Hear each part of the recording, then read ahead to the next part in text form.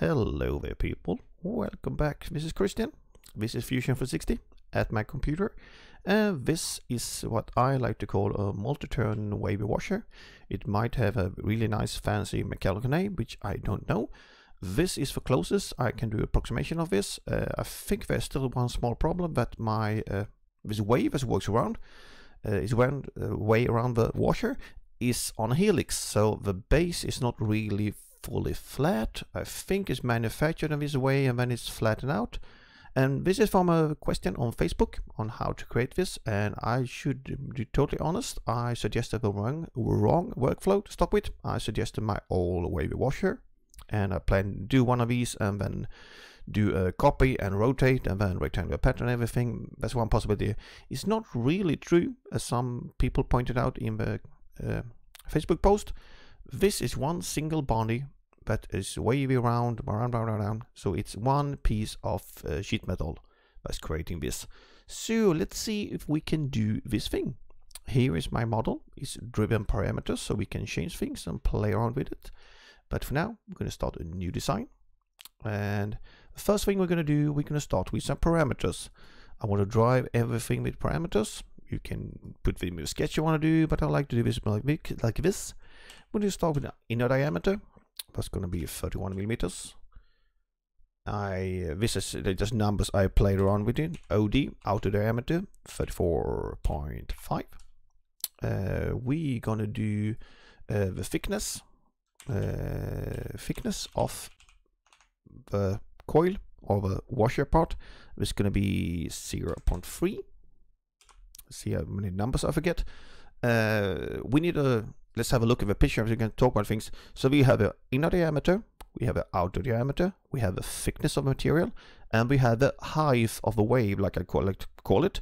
And by how I define the height of a wave is from top of this here to the bottom here. So not from wave to wave, this is on one turn. I'm looking at the height up here, down to the height of here, and I'm doing it from the center of material. You can do a couple different ways. This is a way I'm setting up the dimensions. If you have some specific dimension you want to hit, you need to do some math and playing around. So let's do uh, height of wave. And I did that was for two millimeters. And we have four parameters so far. Now we have two interesting parameters. If we have a look at this, you can see it's a wave. It's going round, round, round, round, round, round. And the interesting thing, of course, is that uh, it's meeting at there's a peak and this is what we call a valley in a sine curve. So they are out of phase. That means this is like doing a half extra wave every time. So can that be correct? Let's do some counting. I'm going to count the holes here. Yeah, one, sorry, I didn't mean to move things around. One, two, three, four, we can hardly see those, five, six, seven, eight, nine, ten, eleven. There's an odd number. That's obvious because we need to have odd numbers to have Uh, these to meet out of phase.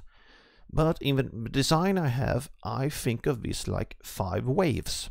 A wave to me is a complete up and down. So we start low, go up, go down, or wherever you think of this is a complete wave. And we do some counting, we can see we have one, two, three, four, five, and then a half more. But in my parameters, I will do this like this. I will do number of waves. I'm going to change this to no units. It cannot have a unit because when then Fusion will fail. I'm going to use 5 and I'm going to add a small comment. Uh, design adds half wave. What's going to do? We're going to do. I'm going to do this in one of the features, so it's easier to remember that this should always be a, a digit number. No, no, no half turns or anything like that. It makes it easier to do the things.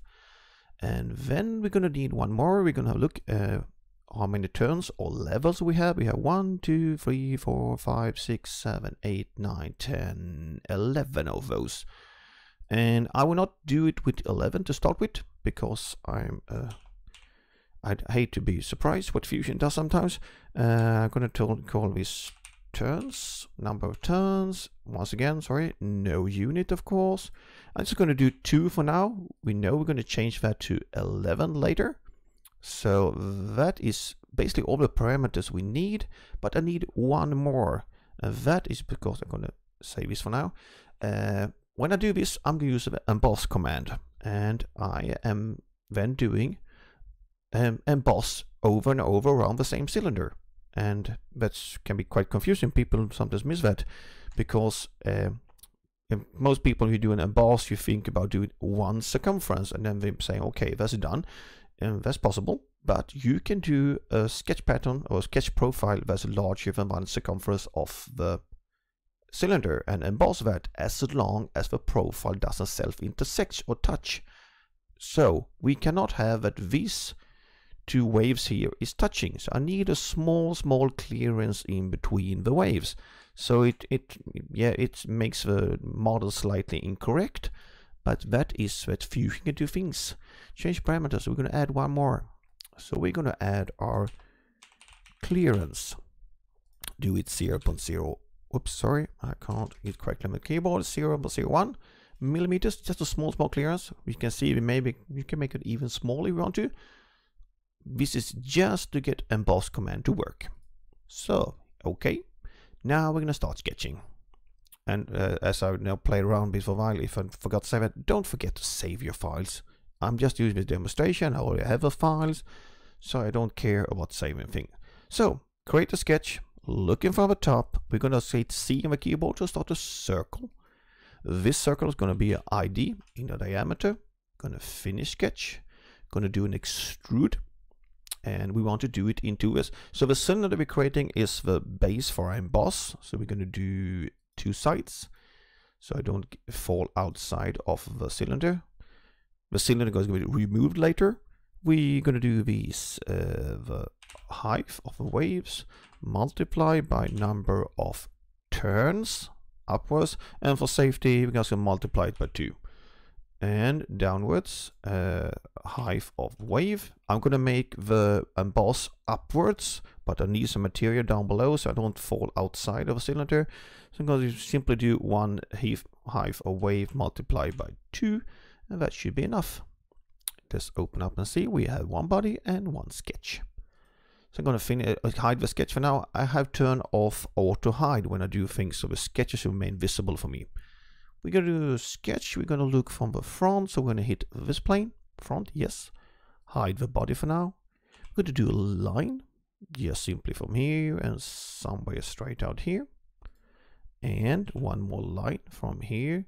Pull it out and make sure we get the perpendicular constraint down here. And let's just finish like that. That's all we're going to need for now we're going to start dimensioning from here to here. This is going to be the length that we wrap things around the cylinder. So this is going to be connected to the cylinder. So we do the inner diameter and basic geometry. Uh, oh, sorry, I'm just tip my things around here. Multiply, so inner diameter multiplied by pi. Uh, remember, large letters, not small, small ones. Uh, that gives us circumference. But that is for only for one. And going to multiply this sketch by the number of turns, like that. So this distance from here is uh, the circumference around multiplied by the number of turns. And we're going to do a hive here. We're going to do like this. And this is going to be our wave hive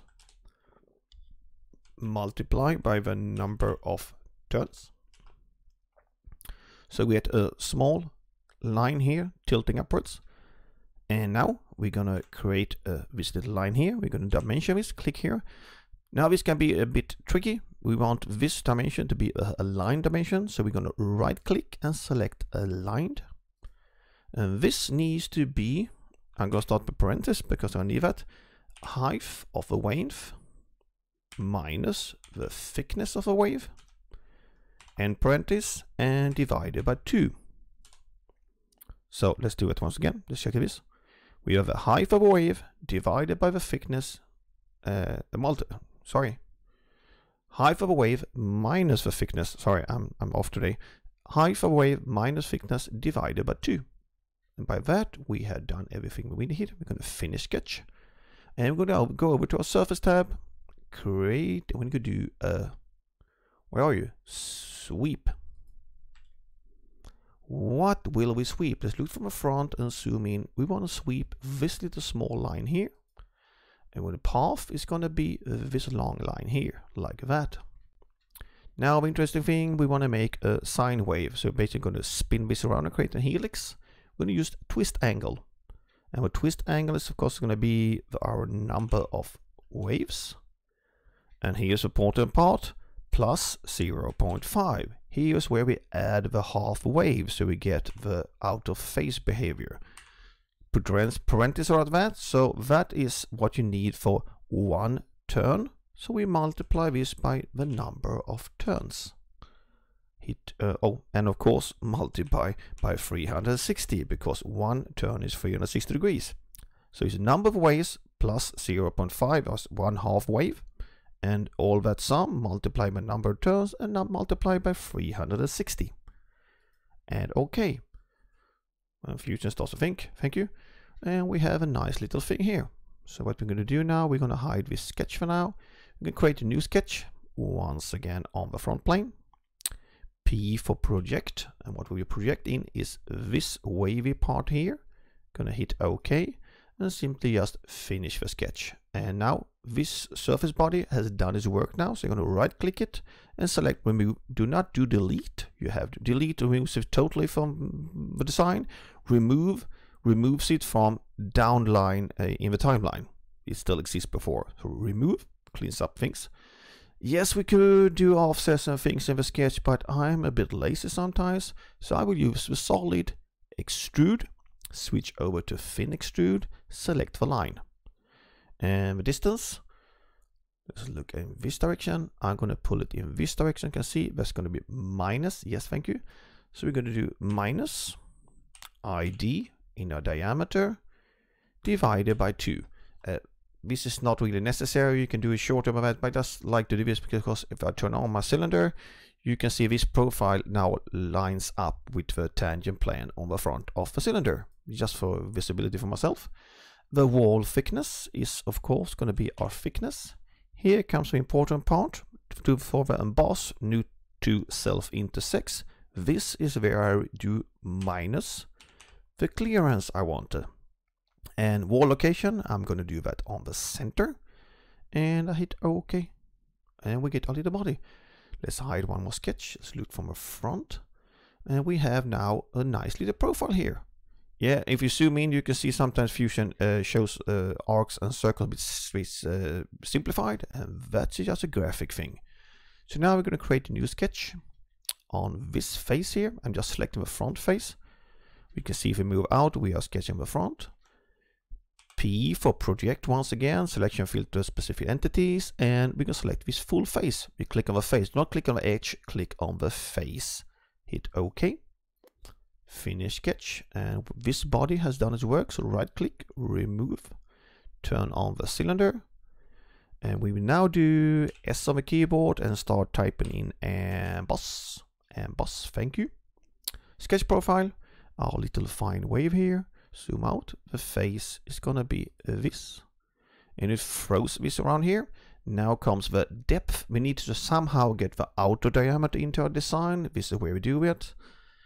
Parenthesis, OD, outer diameter, minus ID, inner diameter, and parenthesis.